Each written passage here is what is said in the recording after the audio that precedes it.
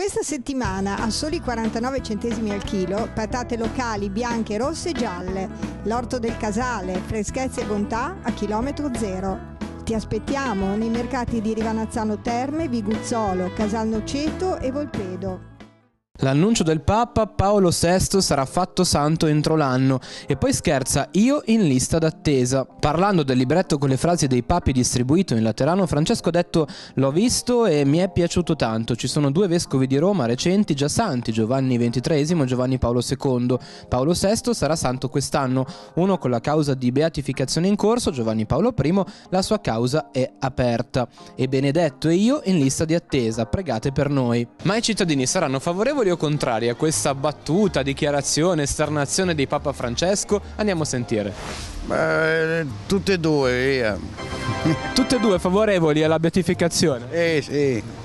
Il fatto che il Papa lo abbia detto, eh, anche se sono effettivamente entrambi ancora in vita, no? È qualcosa che gli dà fastidio oppure la prende come una battuta? Vabbè, io la prendo come una battuta. Il Papa che abbiamo adesso è molto spiritoso, è una persona simpatica, diciamo che piace un po' a tutti. E sono due personaggi che danno simpatia, perciò poi sono molto scrupolosi nel... sono per la pace per tutti. No, sì, perché no? Sì, vediamo come, come parla, come, come, come è una brava persona. Eh, Tutto il, tutto il mondo lo conosce, lo vediamo più spesso con gli anziani che vediamo la, la messa, come parla, come va nel mondo con, ehm, per fare le cose buone per la gente povera, per, eh, a noi queste cose mi piacciono.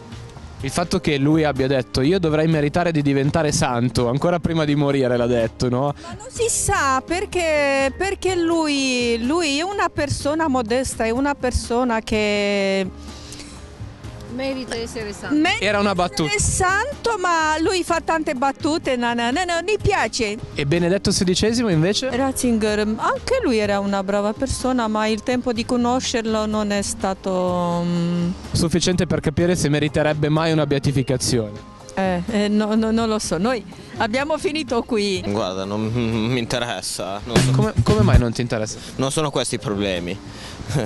Quindi Nel senso che la Chiesa non rappresenta un problema. no, gli altri sono altri problemi. Eh, non arrivare alla fine del mese eh, sono queste le cose importanti. Eh, non il Papa si fa. Il problema è che non ci sono più soldi, si fa fatica ad arrivare alla fine del mese e quindi Quindi anche le beatificazioni secondo te non rappresentano un argomento come importante. la politica, uguale. Assolutamente, niente, zero.